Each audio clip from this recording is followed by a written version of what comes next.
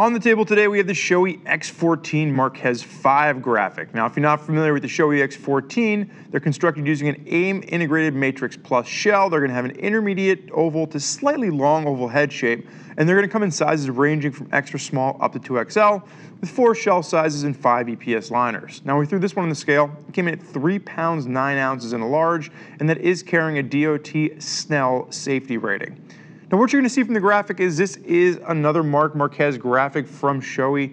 It is gonna have a matte finish. There are gonna be some metallic accents, so if you're looking at the ant on the top of the head on this one, you'll notice that the silver is done in the metallic outline. And then as you bring this around to the back, you have almost this maze-looking design. Reminds me very much of the uh, Marble Madness Nintendo game back in the uh, back in the 90s. And then as this pulls around to the front, you are going to have the 93 in place of where you would normally see the Red Bull Raging Bulls logo on his actual race helmet. Uh, this is typical. You're not going to be able to see the uh, the Red Bull logo replicated on the uh, the non-official helmets. So this is going to just be the 93 logo replacing that, and you will have the 93 at the back of this lid as well. Now this graphic is going to come in one color, and it does have a clear face shield in the box.